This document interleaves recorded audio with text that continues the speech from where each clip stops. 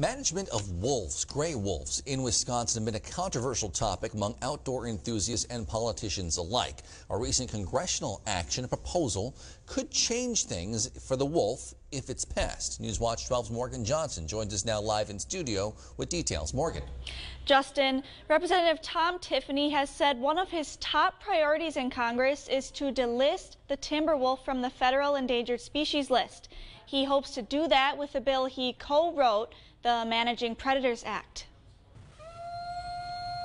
Earlier this month, Representative Tom Tiffany introduced legislation that would permanently remove the gray wolf from the list of federal endangered species. It's important to the people of northern and western Wisconsin. The Managing Predators Act would give state lawmakers and wildlife officials control over management of wolves. I trust the wildlife managers at the DNR. They'll make sure they manage the population appropriately. However, a wildlife expert from Wisconsin's Green Fire thinks Tiffany's bill is unnecessary. Adrian Wydeven said the U.S. Fish and Wildlife Service was on the verge of delisting wolves. Wolves have recovered, so many of us do feel their populations have recovered and can be managed by the state. Representative Tiffany thinks congressional action is more certain to deliver results. He says the U.S. Fish and Wildlife Service's process could be stopped in the courts. We have very deep pocketed groups that fight delisting, fight the de- wolf delisting every time that it happens. They're going to do the same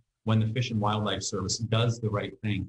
Wydeven does agree that a change should be made to the endangered species list. Species should certainly be delisted when their populations have recovered. He just trusts a move by the U.S. Fish and Wildlife Service more. Tiffany trusts state DNR officials to maintain wolf populations. I trust our um, our wildlife managers in the Department of Natural Resources to make the right decision. They're not going to allow the wolf to become endangered again. It will be tough for the bill to pass the Democrat controlled House of Representatives. Tiffany's opponent, Tricia Zunker, spoke out today against the bill.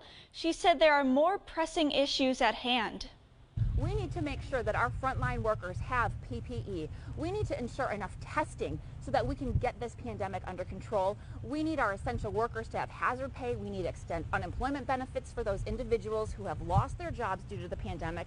We need to make sure our farmers and our small businesses have the support that they need.